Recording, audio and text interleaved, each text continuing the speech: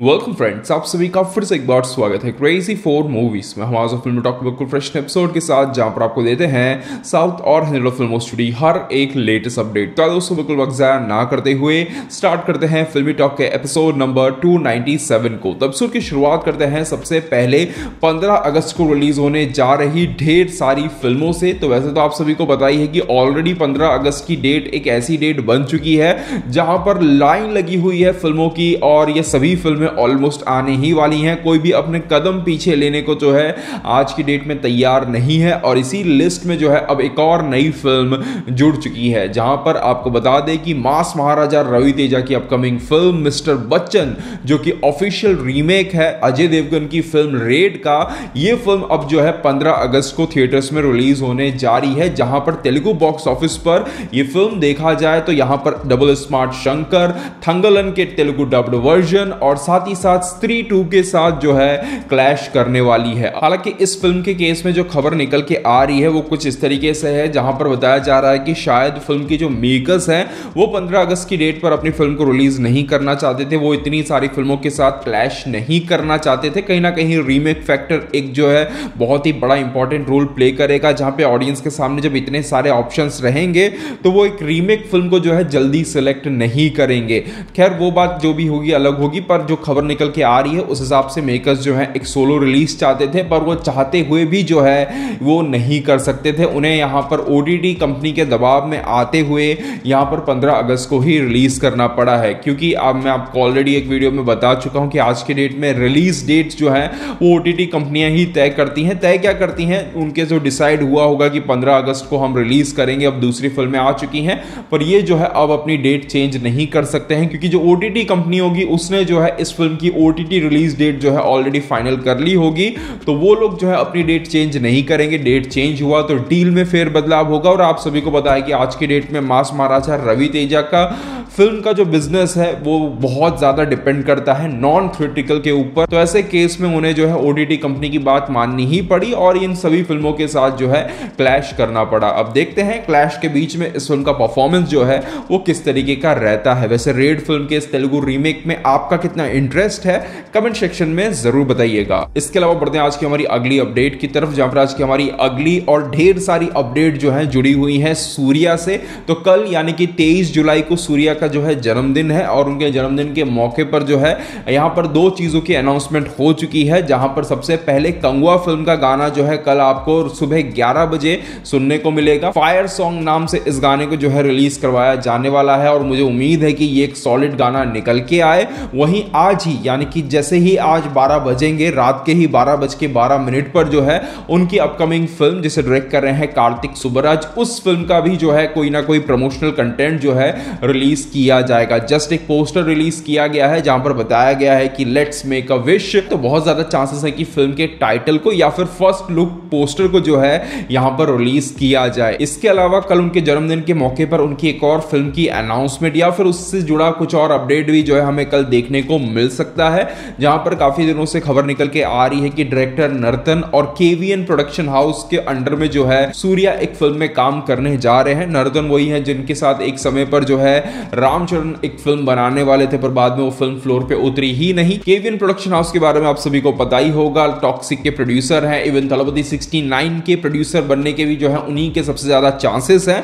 तो उनके साथ एक फ़िल्म डिस्कशन में है, जिसके लेकर कुछ क्लैरिफिकेशन जो है, कल हमें मिल सकता है। इसके अलावा अगर बात करें, यहाँ पर कुछ और एक्साइटिंग अपडेट्स की, जो कि निकल के आ रही है, उन्हीं की अपकमिंग फ़िल्म यानी कि कंगुआ से। तो रिसेंटली दिए गए इंटरव्यू के अंदर फ़िल्म के प्रोड्यूसर ने जो है, इस चीज़ को कंफर्म किया है कि यहाँ पर वो फ़िल्म के ट्रेलर को अगस्त के महीने में रिलीज़ करने वाले हैं। मिड अगस्त में जो है इस फ़िल्म का ट्रेलर या फिर टीजर जो है रिलीज़ होगा। इसी के साथ साथ उन्होंने फ़िल्म के पार्ट टू के बारे में भी बात की। उन्होंने कहा है कि पार्ट टू की जो शूटिंग है, वो लोग जो है उसकी शूटिंग 2026 में स्टार्ट करेंगे और कहीं 2027 के समर्स में जो है इस फ़िल्म का पार्ट टू जो है हमें रिलीज़ होता हुआ नज़र आएगा। यानी कि प्लानिंग तो प्रॉपर है कि रिलीज़ करेंगे, पर ये गैप जो है कहीं ना कहीं काफ़ी ज़्यादा है। पर एटलीस्ट एक क्लैरिटी है, यहाँ पर किसी को इंतज़ार नहीं करना पड़ेगा कि अब आ रही है, अब आ रही है। उनके दिमाग में क्लैरिटी है कि तीन साल के बाद ही आएगी तो तीन साल के बाद ही जो है हमें वो देखने को मिलेगी। उन्होंने कहा है कि इसी बीच में जो है डायरेक्टर शिवा जो है, अपनी अगली फ़िल्म पर काम करेंगे। एक्चुअली में उन्होंने बताया कि शिवा ने जो है एक और फ़िल्म के लिए कमिटमेंट दिया हुआ है और उस फ़िल्म को जो है वो इस बीच में खत्म करने की कोशिश करेंगे, जिसको लेकर कहा जा रहा है कि बहुत ज़्यादा चांसेस है कि वो ये फ़िल्म जो है अजीत कुमार के साथ बनाने वाले हैं।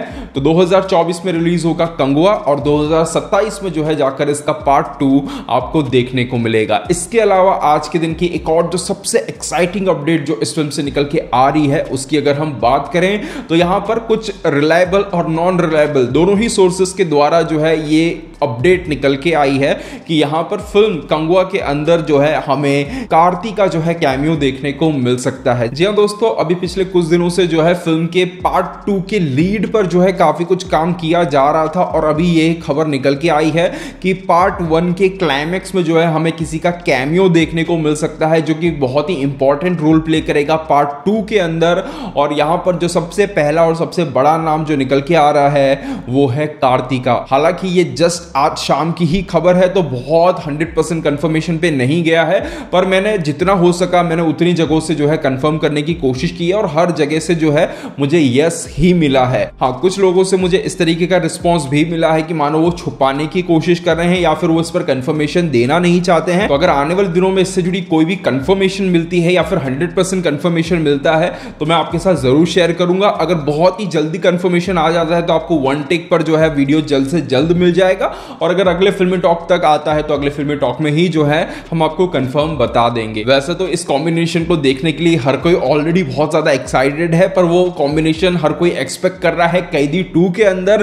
पर जस्ट इमेजिन कीजिए, अगर वो कॉम्बिनेशन कंगुआ में हमें पहले ही देखने को मिल जाए तो एक्साइटमेंट किस लेवल की रहेगी? देखते हैं। वैसे आपका क्या पर्सनल ओपिनियन है कमेंट सेक्शन में ज़रूर बताइएगा। पर फिर से एक चीज़ मैं क्लियर कर दूँ, कि जस्ट बर्ज लेवल पर है, अभी जस्ट शाम को ही अपडेट आई है तो किसी भी खबर को कंफर्म होने में दो से दस दिन तो लग ही जाते हैं तो थोड़ा सा और इंतज़ार कीजिए हंड्रेड परसेंट कंफर्म होने पर आपके साथ ज़रूर शेयर करेंगे। इसके अलावा पिछले एपिसोड में हमने आपको बताया था कि डबल स्मार्ट शंकर को जो है यहाँ पर हनुमान फ़िल्म के जो प्रोड्यूसर्स हैं, वो डिस्ट्रीब्यूट करने वाले हैं। उन्होंने जो है इस फ़िल्म के थिएटिकल राइट्स लिए हैं और इस चीज़ को अब जो है उन्होंने ऑफिशियली अनाउंस भी कर दिया है। मेरे पास जो खबर थी, उसमें जो है हिंदी वर्जन इंक्लूड नहीं था, पर आज जो है अनाउंसमेंट हुई है। उस हिसाब से सभी भाषाओं को जो है यहाँ पर निरंजन रेड्डी द्वारा ही जो है रिलीज़ करवाया जाएगा। तो मे भी हो सकता है कि नॉर्थ के जो राइट्स हैं, वो बाद में किसी और को बेच दें या फिर किसी और को जो है एडवांस बेसिस पर दे दें, जिसके थ्रू वो हिंदी में जो है इस फ़िल्म को रिलीज़ करवा पाए। इसके अलावा वैसे तो 15 अगस्त को काफ़ी सारी फ़िल्में जो है थिएटर्स में रिलीज़ हो रही है, पर यहाँ पर दूसरी तरफ़ अगर देखा जाए 15 अगस्त को ही जो है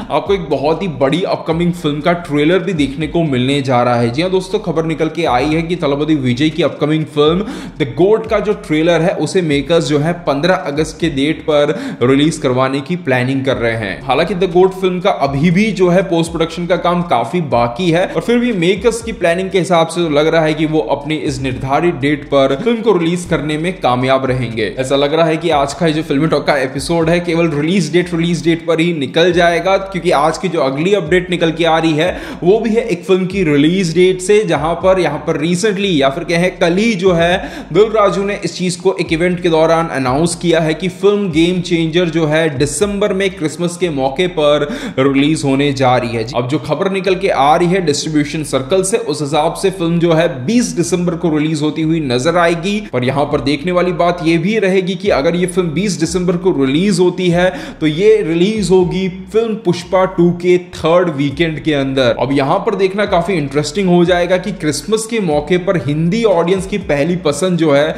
वो कौन सी फ़िल्म बन पाती है? तीन हफ़्ते पहले रिलीज़ हुई पुष्पा टू या फिर रिसेंटली रिलीज़ हुई फ़िल्म गेम चेंजर वैसे आपको पर्सनली क्या लगता है? कमेंट सेक्शन में ज़रूर बताइएगा।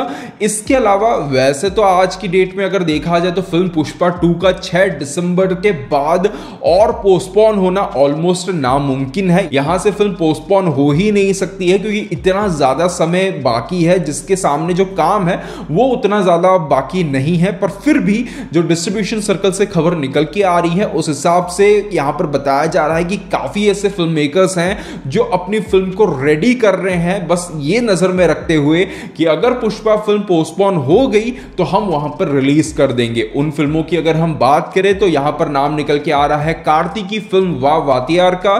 दूसरा नाम निकल के आ रहा है यहाँ पर विष्णु मंचू की फ़िल्म कनप्पा का। और जो तीसरा नाम यहाँ पर निकल के आ रहा है, वो है धनुष स्टारर फ़िल्म कुबेरा का। ये तीनों फ़िल्मों के जो प्रोड्यूसर्स हैं, वो फ़िल्म को रेडी करने की कोशिश कर रहे हैं ताकि अगर कोई फ़िल्म अगर वहाँ पर नहीं आती है दिसंबर में तो वो अपनी फ़िल्म को रिलीज़ कर दें। हालाँकि इनकी प्लानिंग मुझे नहीं लगता है कि कुछ खास काम करेगी, क्योंकि यहाँ से पुष्पा टू का पोस्टपोन होना ऑलमोस्ट इम्पॉसिबल है। इसके अलावा बढ़ते हैं आज की हमारी आखिरी अपडेट की तरफ़ और बात कर लेते हैं फ़िल्म कल की 2898 एडी के बारे में। तो फ़िल्म ने जो है अपने हिंदी वर्जन से 277.40 करोड़ का जो है नेट कलेक्शन कर लिया है और ऐसा करते हुए ये फ़िल्म जो है all time third highest collection करने वाली हिंदी डब्ड फ़िल्म यहाँ पर बन चुकी है। पहले नंबर पर है बाहुबली टू, दूसरे पर है के जी एफ़ टू और तीसरे नंबर पर कल की two eight nine eight AD ने जो है अपनी जगह बना ली है। देखने वाली बात यह है कि पहले दो नंबर पे जो फ़िल्में खड़ी हैं, वो दोनों ही जो है, दो ब्लॉकबस्टर फ़िल्मों की सीक्वल थी।